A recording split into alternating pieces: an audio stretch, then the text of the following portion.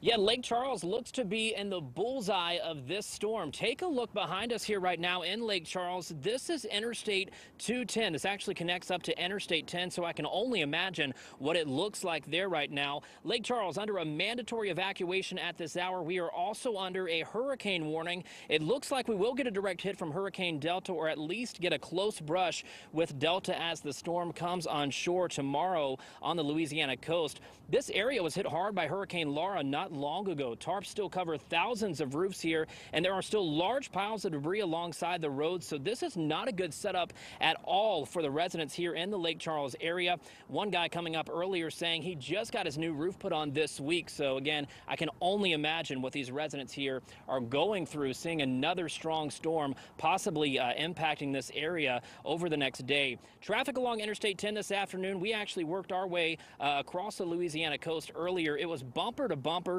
from Baton Rouge to Lafayette going eastbound on Interstate 10.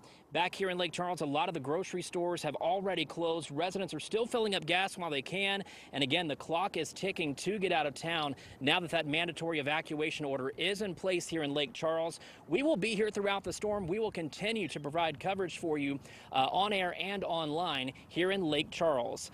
I'm Blake Brown, News Nation, Lake Charles, Louisiana.